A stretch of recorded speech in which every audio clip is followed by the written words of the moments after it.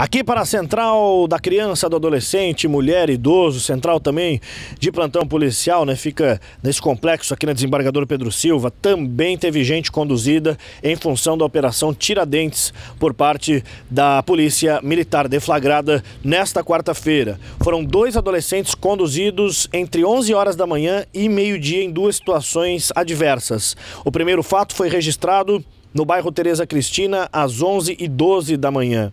A guarnição da Polícia Militar estava em rondas quando flagrou uma pessoa em atitude suspeita que, ao ver os policiais, jogou algo no chão que parecia ser droga.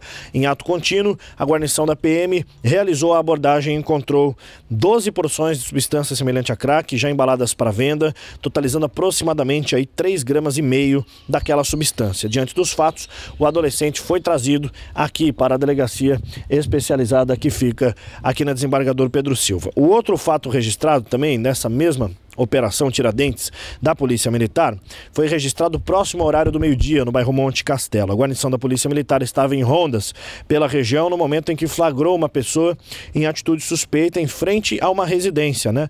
Ao ver os policiais, ele também jogou algo que indicava, parecia ser substância ilícita e fugiu para dentro de casa.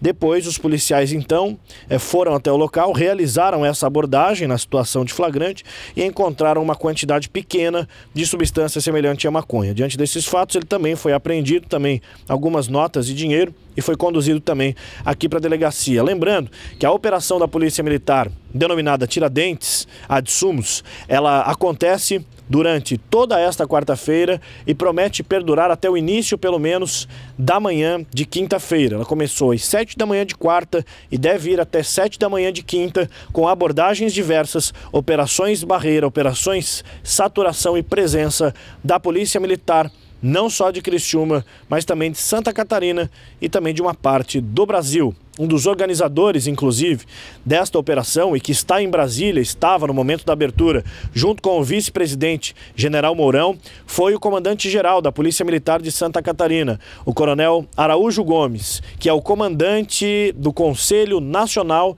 dos Comandantes de Bombeiros e Polícia Militar.